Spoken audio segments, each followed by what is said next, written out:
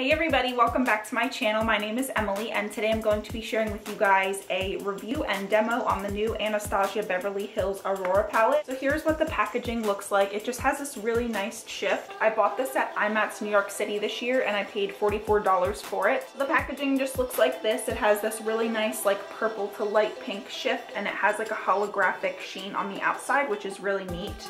Um, here's what the back of the kit looks like. It just has, you know, all the ingredients and things like that. It's a metallic powder highlight for intense luminosity. You get 0.15 ounces in each pan if you guys are curious.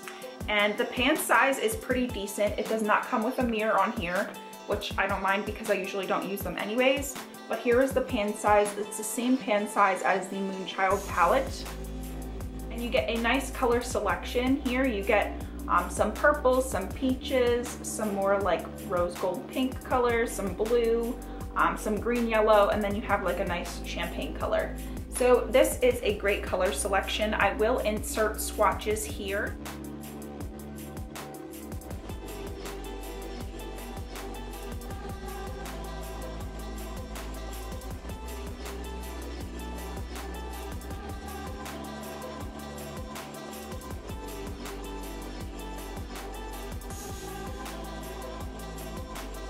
You guys could see in the little swatch video, they all perform really well and they all have different color shades to them and different shifts. When your highlight catches the light, you will be able to see the different colors. So I will also insert a demo here and I'm going to be using this blue shade here, which is called Orion. So if you guys would like to see how this performs, then please keep watching.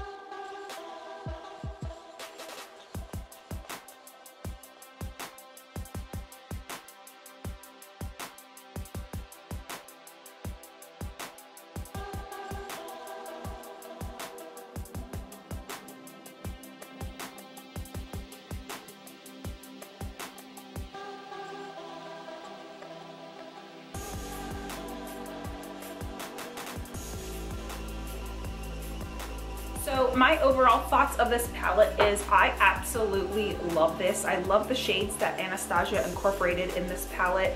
I love, love, love this blue color that she added. I think it's so unique. And as you guys could see in the demo, it is like, bam, that is a strong metallic highlight, which I love.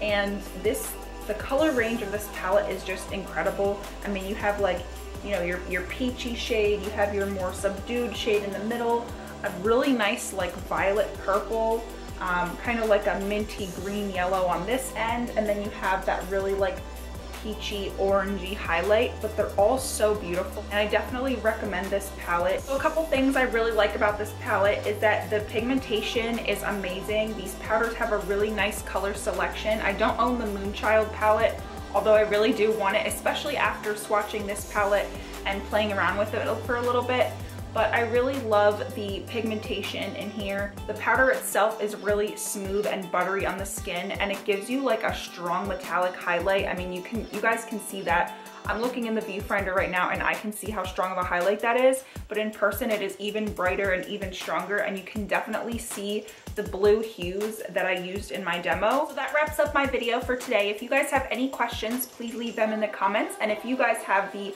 Anastasia Beverly Hills Aurora palette, let me know how you guys like it. And if you guys have any tutorials or demos that you would like to share, I would love to watch them.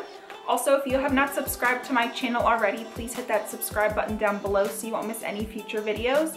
And I will list my Instagram somewhere on the screen here. It's at EMK Beauty. I post makeup pictures and little product reviews and things like that. So if you haven't followed me there already, please um, follow me on Instagram. And as always, thank you so much for watching and I will see you guys in my next video.